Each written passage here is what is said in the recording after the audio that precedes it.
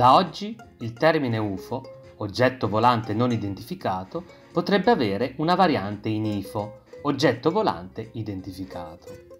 Ebbene sì, quella che è sempre stata fantascienza o credenza popolare attribuita a persone suscettibili potrebbe diventare storia. Il tema dei dischi volanti e degli WAP, fenomeni aerei non identificati, negli USA è ormai di rilievo mediatico. A parlarne non sono solo i giornalisti alla ricerca dello scoop, ma anche i dirigenti ed esperti della CIA e i senatori di entrambi gli schieramenti. La storia ha inizio con l'incidente di Roswell del 2 luglio 1947, quando un oggetto volante non identificato precipitò al suolo e le prime notizie a circolare parlarono anche del ritrovamento di corpi alieni.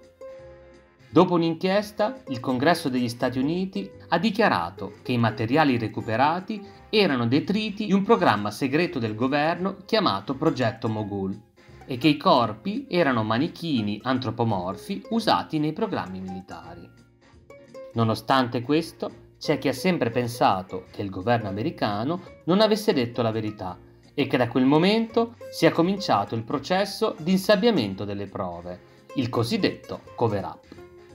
Già in passato vi furono testimonianze di avvistamenti di oggetti volanti e l'episodio più interessante è quello descritto da Giuseppe Flavio nel suo libro Antichità giudaiche, avvenuto nel 70 d.C. A parte gli studiosi di UFO e qualche appassionato in materia, però, la maggior parte della gente non ha mai dato credito a questi fenomeni. Qualcosa è cambiato nel settembre del 2019 quando la Marina americana ha dichiarato che alcuni video sugli UFO ripresi da imbarcazioni militari fossero autentici. Guardiamo assieme di cosa si tratta.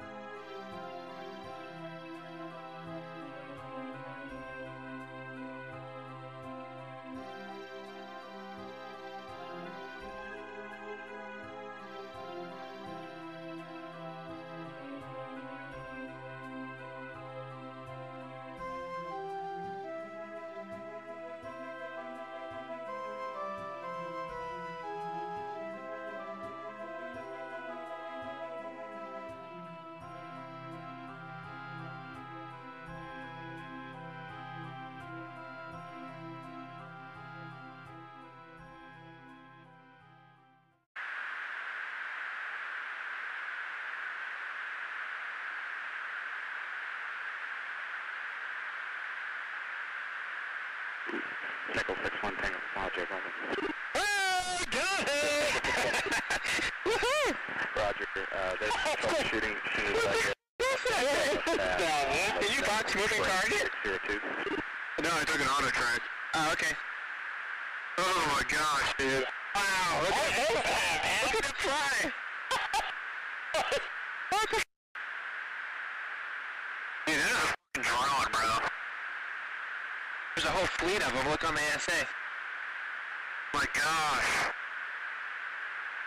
They're all going against the wind. The wind's 120 knots from the west. Look at that thing, dude.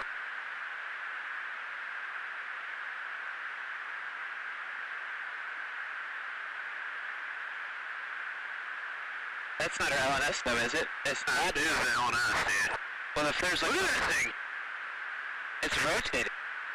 Nel 2020 il Pentagono ha dato l'autorizzazione a diffonderli. A fine mandato il presidente Trump ha firmato un disegno di legge sugli aiuti economici per fronteggiare l'emergenza Covid-19, all'interno del quale si trova un testo di 5.593 pagine nel quale l'ex presidente dà al Pentagono e alle agenzie di intelligence 180 giorni di tempo per dire ciò che sanno sugli UFO. Luis Elizondo, ex agente CIA e responsabile dell'ATIP, il programma di identificazione avanzata delle minacce aerospaziali, ha dichiarato che il governo americano è in possesso di reperti recuperati nei luoghi di presunti UFO crash, da relitti degli oggetti volanti. Il governo avrebbe cioè parti e componenti degli WAP, custoditi dove non è dato sapere. Il luogo più accreditato è la famosa Area 51 in Nevada, dove si ipotizza si compiano studi di retroingegneria, che è la scienza che cerca di capire cosa c'è dietro la costruzione di oggetti ritrovati e sconosciuti. Come già detto, il fenomeno è diventato argomento di dibattito nel Senato americano e alcuni senatori si sono espressi in merito. Da sottolineare le dichiarazioni di Marco Rubio del Partito Repubblicano, che vede negli WAP una minaccia alla sicurezza nazionale, e il democratico Martin Heinrich, che definisce gli UFO tecnologia troppo sofisticata per essere umana. Infine, il senatore Harry Reid, sempre democratico, ha detto: La verità è che degli WAP non abbiamo capito granché, ma dobbiamo continuare la ricerca seguendo la scienza. Lunedì 16 maggio 2021 l'ex presidente Barack Obama è stato ospite a The Late Show, il programma della CBS condotto da James Corden, con un audience di milioni di spettatori. Hanno fatto scalpore le sue seguenti dichiarazioni.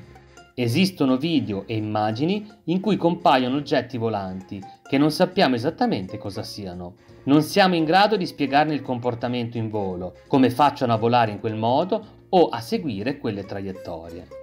Secondo l'ex presidente degli Stati Uniti, il fenomeno è reale esiste, è documentato e necessita quindi di indagini e ricerche.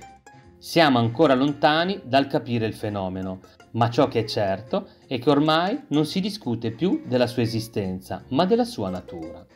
La teoria che non siamo soli nell'universo è sempre più accreditata e non semplicemente perché se fossimo gli unici esseri viventi ci sarebbe un immenso spreco di spazio, ma anche perché tutte le popolazioni antiche ci parlano di esseri venuti dal cielo, chiamati poi dei. Che idea vi siete fatti di tutto questo? Fatemelo sapere in un commento. Se ti è piaciuto lascia un grande like e se non l'hai ancora fatto iscriviti al canale.